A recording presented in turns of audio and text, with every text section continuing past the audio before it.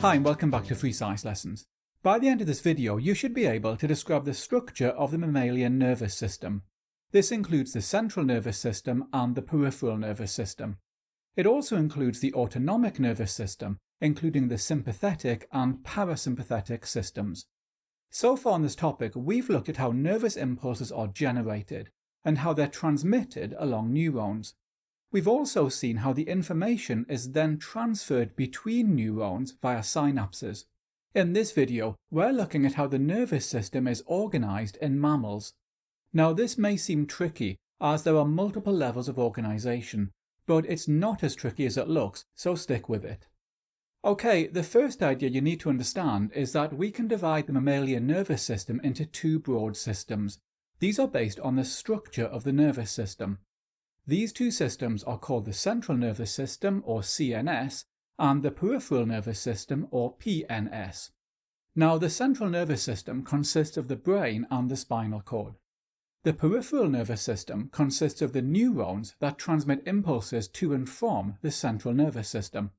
For example, sensory neurons transmit impulses from receptors to the central nervous system, and motor neurons transmit impulses from the central nervous system to effectors such as muscles.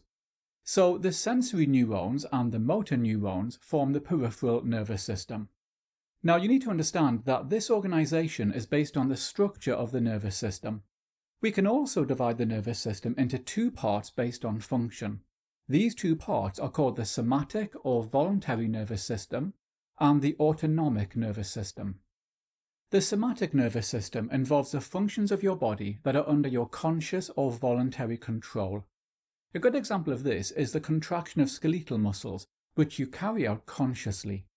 For example, if you turn the page of a textbook, then you are consciously triggering muscles in your arm and your hand to contract, and this involves the somatic or voluntary nervous system.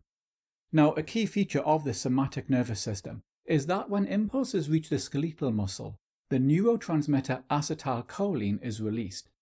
This takes place at the neuromuscular junction, which we look at in later videos. So, the somatic nervous system sends impulses to skeletal muscles, and this is under conscious control. Now, in contrast, the autonomic nervous system regulates processes that are unconscious or involuntary, and the autonomic nervous system operates all the time. For example, the regulation of your heart rate is controlled by the autonomic nervous system. The autonomic nervous system also triggers the smooth muscles in your digestive system to contract as you digest food. And the secretion of certain hormones, such as adrenaline, is also under the control of the autonomic nervous system. So, in contrast to the somatic nervous system, the autonomic nervous system sends impulses to cardiac muscle, smooth muscle, and glands. Now we can further divide the autonomic nervous system into two functional parts. These are called the sympathetic nervous system and the parasympathetic nervous system. The sympathetic nervous system often causes a target organ to increase in activity. A good example of this is the fight or flight response triggered by a stressful event, and we look at the fight or flight response in a later video. In this case, the sympathetic nervous system triggers the heart rate to increase, increasing the supply of blood to muscles. The breathing rate is triggered to increase, and the muscles of the airways relax, causing the airways to dilate or open. This increases the supply of oxygen to muscles and the removal of carbon dioxide. Now, during fight or flight, the sympathetic nervous system triggers peristalsis in the digestive system to slow down. This conserves energy for dealing with a stressful situation.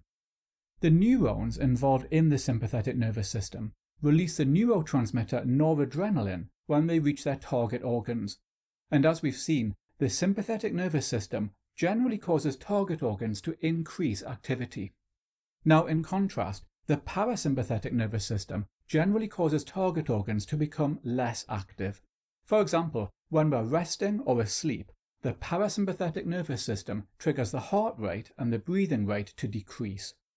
However, in these situations, the parasympathetic nervous system triggers the digestive system to increase activity. So as you can see, the sympathetic and parasympathetic nervous systems generally have opposite effects on their target organs.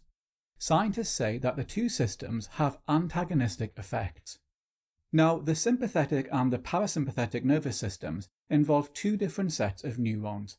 The neurons involved in the sympathetic nervous system release the neurotransmitter noradrenaline when they reach their target organs.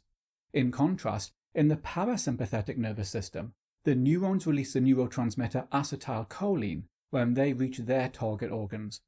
In the next video, we look at the structure and functions of the human brain.